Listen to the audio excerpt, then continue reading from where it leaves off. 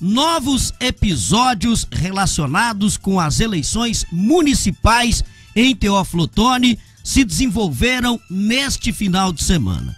Na sexta-feira, a informação dando conta de uma retificação do edital de convocação para a diplomação dos eleitos da Zona 269, que atende ao município de Teófilo Otoni. O juiz eleitoral de primeira instância, Dr. Geraldo Rodrigues de Oliveira, publicou uma retificação neste edital de convocação e nesta retificação excluía os nomes do prefeito reeleito Daniel Batista Sucupira, do Partido dos Trabalhadores, e do vice-eleito Dr. Éder D3 do DEM, da lista de convocados para as, a diplomação que acontecerá no dia 18 de dezembro. A equipe jurídica da coligação Avança Mais recorreu ao TRE em Belo Horizonte e a juíza de plantão no sábado à tarde, concedeu uma tutela incidental de urgência e confirmou a diplomação e posse do prefeito reeleito Daniel Sucupira e do vice Dr. Éder D3. Agora eles serão diplomados no próximo dia 18 de dezembro. A diplomação virtual acontecerá às 10 horas da manhã e empossados no dia 1 de janeiro como prefeito e vice. Mas o processo que foi aberto ainda na época da campanha pela coligação adversária a do prefeito reeleito vai continuar aguardando o julgamento do mérito, que acontecerá por órgão colegiado do TRE, Tribunal Regional Eleitoral. E é esse colegiado do TRE que vai decidir em segunda instância se mantém ou se anula a cassação do registro da chapa de Daniel Sucupira e Dr. Éder D3. Eles foram acusados e condenados em primeira instância por crime de abuso do poder político durante as eleições. Vamos entender melhor os últimos episódios registrados no cenário político local. A reportagem é de Alain Martuchelli. O Tribunal Regional Eleitoral de Minas Gerais confirmou a diplomação e posse do prefeito reeleito em Teoflotone, Daniel Batista Sucupira, do PT, e do vice-prefeito eleito, Dr. Éder D3 Silva, do DEM. A decisão do TRE foi proferida na tarde do último sábado, com a sentença da juíza plantonista Cláudia Coimbra. Com a decisão do TRE de Minas, caiu a decisão do juiz Dr. Geraldo Rodrigues de Oliveira, da Zona Eleitoral 269, aqui em Teoflotone, que havia retificado na última sexta-feira, dia 11, o edital de diplomação dos eleitos prefeito e vice nas eleições municipais em 2020. Na retificação, Dr. Geraldo havia excluído o nome dos candidatos da chapa Avança Mais, Daniel Sucupira, candidato a prefeito, e do candidato a vice-prefeito, Dr. Éder D3, justificando que a interposição de recurso junto ao TRE contra a cassação da chapa majoritária, da qual os dois candidatos fazem parte, não haviam sofrido qualquer modificação. No entanto, a modificação aconteceu neste fim de semana, no sábado. O recurso que a Justiça Eleitoral em Teoflotone referiu foi interposto ao TRE de Minas pelos advogados da coligação partidária vencedora das eleições municipais contra a cassação dos registros dos eleitos no dia 30 de novembro. Daniel Sucupira foi acusado de abuso de poder político e por supostas práticas de condutas vedadas aos agentes públicos em campanhas eleitorais, por contratar 700 servidores extras para a prefeitura no período eleitoral. Em resposta, os advogados da chapa explicaram em nota que todas as contratações ocorreram rigorosamente dentro dos trâmites legais exigidos, observando também as MPs e deliberações oficiais do governo federal, fato que inclusive teve sua regularidade reconhecida pelo Ministério Público Eleitoral nos próprios autos do processo em questão. Embora o mérito do recurso ainda não tenha sido julgado pelo Tribunal Regional Eleitoral de Minas, a decisão da juíza plantonista de conceder efeito suspensivo ao recurso eleitoral interposto foi comemorado pela defesa de Sucupira. A juíza suspendeu os efeitos de sentença, inclusive os de publicação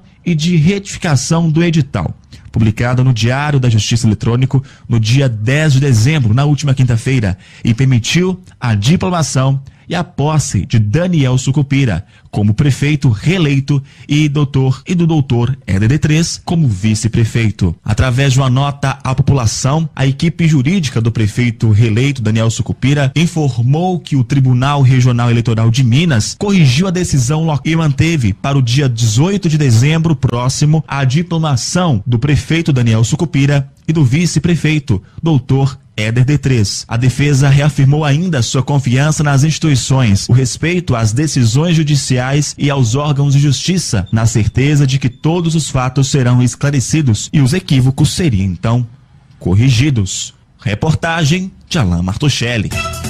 Portanto, tá aí esclarecido o que aconteceu, né? Na sexta-feira, a notícia do juiz de, daqui de Teoflotone, de primeira instância, doutor Geraldo Rodrigues de Oliveira, ele havia excluído numa retificação ao edital de convocação dos diplomados, dos que serão diplomados, os nomes de Daniel Sucupira e Dr. Éder D3.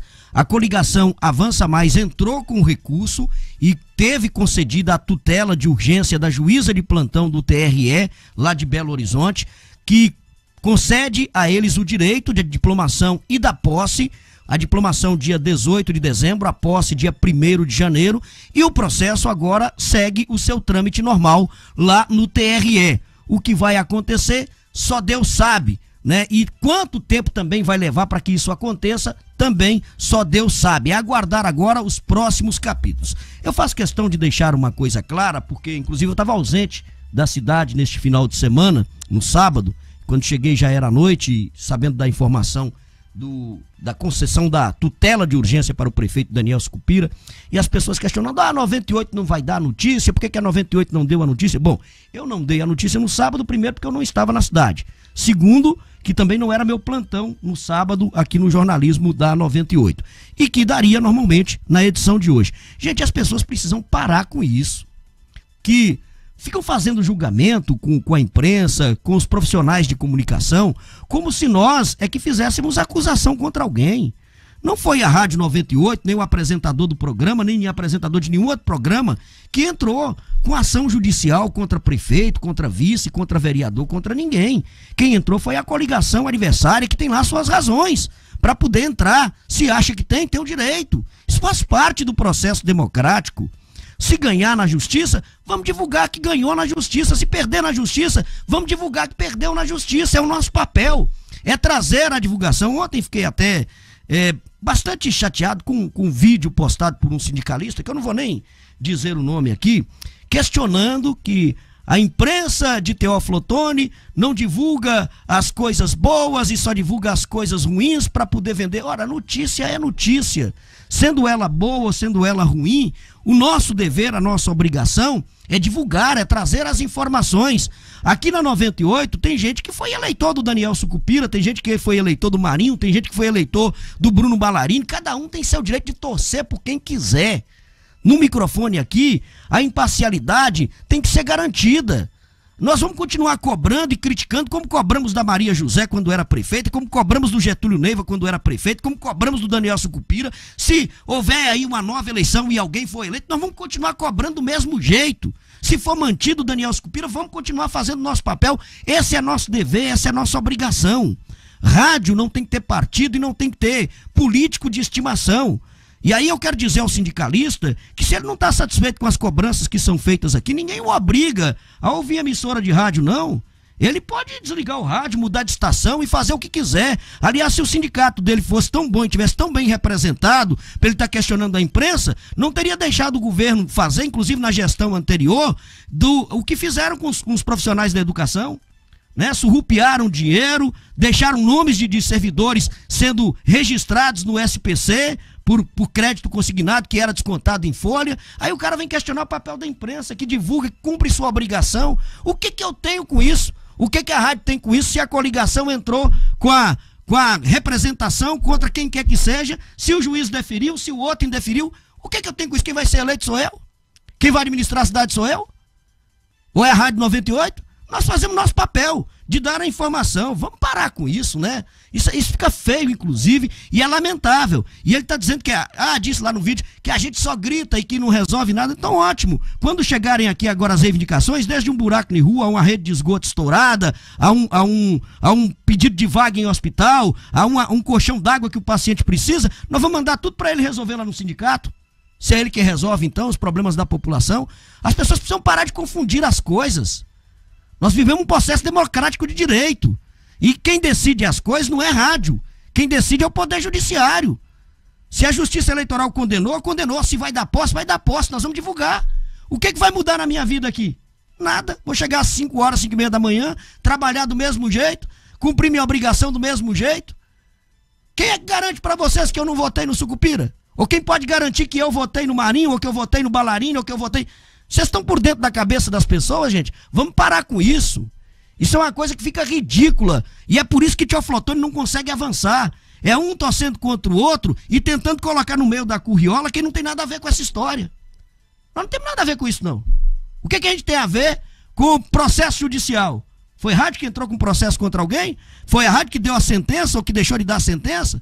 Então vamos parar com essas coisas e vamos torcer para que as coisas se resolvam, porque enquanto tá esse embate aí, cai eliminar, sobe eliminar, condena, absolve, é, imposta, não dá posse, quem perde? É a cidade.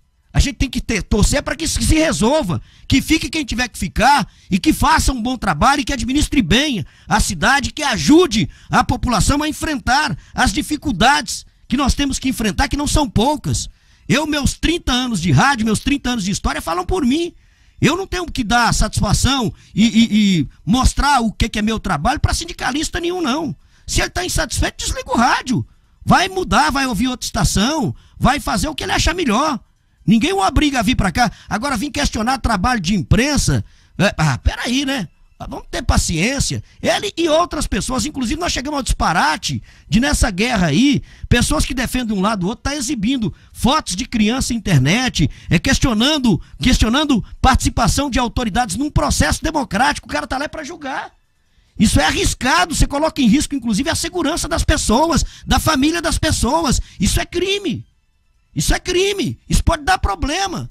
Então, ao, ao tempo que vocês acham que estão ajudando fazendo dessa forma, só estão atrapalhando a cidade. Só estão atrapalhando a cidade, a, a, acirrando os ânimos, deixando o, os ânimos cada vez mais exaltados com a questão política. Vocês têm que torcer para que isso se resolva logo, que fique quem tiver que ficar, porque nós vivemos num processo democrático. E acabar com essa picuinha, acabar com essa confusão e torcer para qualquer que seja a administração que ela possa dar certo. Agora, o papel da rádio, o papel do programa, nós vamos continuar fazendo. Cobrar de quem tiver de cobrar, reivindicar quando tiver de reivindicar, elogiar quando tiver de elogiar.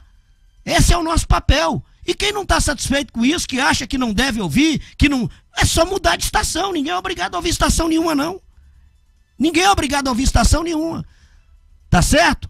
E o sindicalista que acha que ele consegue resolver os problemas tudo sem o apoio da imprensa, quando começarem a chegar os problemas aqui agora, como hoje, daqui a pouco tem, falando de esgoto na Sidônia Otone, falando de buraco aqui na, na no, no, centro da cidade, eu não vou atrás disso não. As pessoas é que vêm atrás da emissora para pedir e cobrar.